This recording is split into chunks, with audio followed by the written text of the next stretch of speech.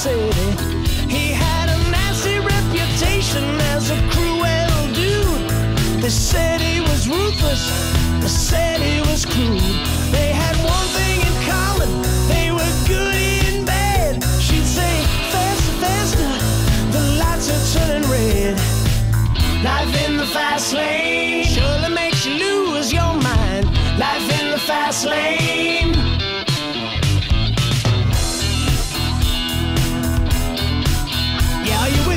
Far?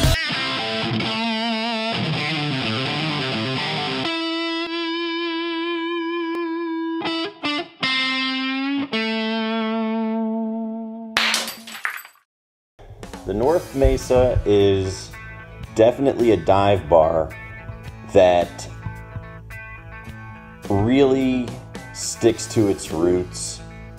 Um, it is really concerned with the the locals and the people who make the North Mesa what it is on a daily basis. The bar is in Floyd County, Georgia. It's in um, the city of Rome, even though it's in Rome, it's sort of on the outskirts of Rome. So you are in a country rural setting and it's it's typical countryside. I mean, you're you're driving out there uh, past some cows and past some farmland and made it to the North Mesa. I had gone to this bar previously and enjoyed my experience, so I wanted to go back and give it a review. Um, it's it's small, it's homey, it's got a nice outdoor section right off the side of the bar, and uh, it's fenced in, so you can sit back there, enjoy the day. There's nothing but a tree line, some grass behind it, so you can take in uh, nature. Inside, typical dive atmosphere. Um, you can smoke in there. It's small. The ceiling is lower. Uh, it's got a mix match set of table and chairs. Uh, the people were all very friendly.